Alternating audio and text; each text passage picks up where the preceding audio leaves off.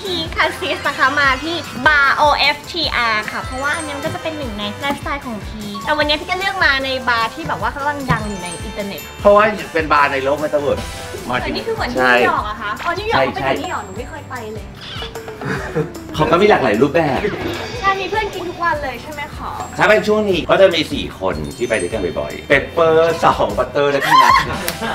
หนูขอย้อนกลับไปเคทรีได้ไหมแทนสุด